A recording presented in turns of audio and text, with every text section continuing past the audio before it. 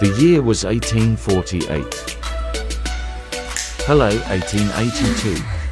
Thanks, Lewis Latimer.